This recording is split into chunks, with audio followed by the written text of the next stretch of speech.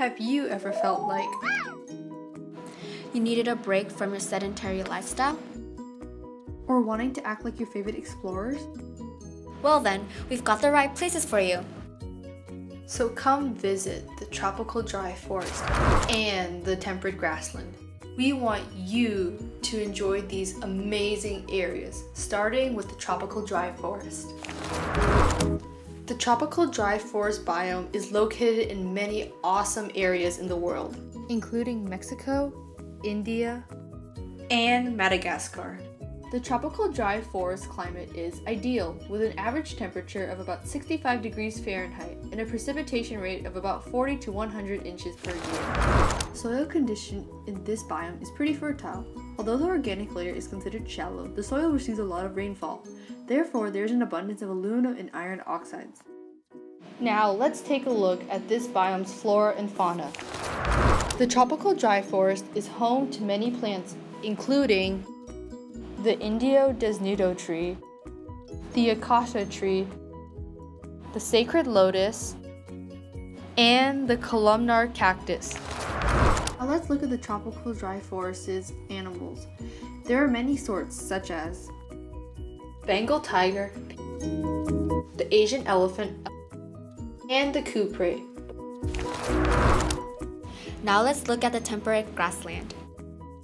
Temperate grasslands are known for their beautiful colors and are you can find this biome all around the world, such as the US, Canada, Chile, and Australia. For the climate, the temperature extremes are wider than anywhere else on Earth. During the summer, temperatures can reach over 100 degrees Fahrenheit, while winters can be as cold as negative 40 degrees Fahrenheit. Rainfall is moderate and seasonal, raining about 10 to 35 inches per year. Most temperate grasslands are inland, so it can get quite windy. If you enjoy the breeze, it will be a great choice to come here. Temperate grasslands have the world's most fertile soils. The soil is soft and rich with nutrients because of the long roots of the plants. These long roots dig deep and anchor the plants. Speaking of things to look out for, there are some seasonal droughts and occasional fires to be careful of. Now let's talk about the temperate grasslands flora and fauna dominant flora of the temperate grassland are grasses and wildflowers. Some of the grasses and wildflowers are the buffalo grass, the purple needle grass, asters, and wild indigo. The temperate grassland has a great variety of dominant fauna such as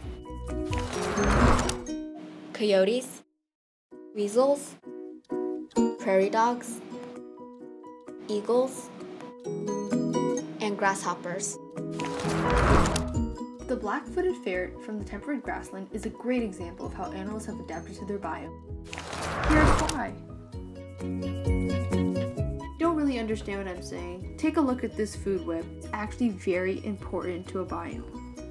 Say the whole squirrel population from trophic level 2 dies off. This would cause the animals from trophic level 3 and 4 to lose one of their food sources. They would have to devour the other trophic level 2 species, causing them to die off too because they didn't have enough time to reproduce. Animals from trophic level 3 and 4 would run out of food, and who knows what would happen next.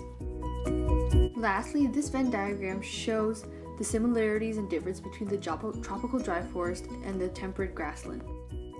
This concludes our video brochure. We hope this convinces you to come to at least one of these biomes.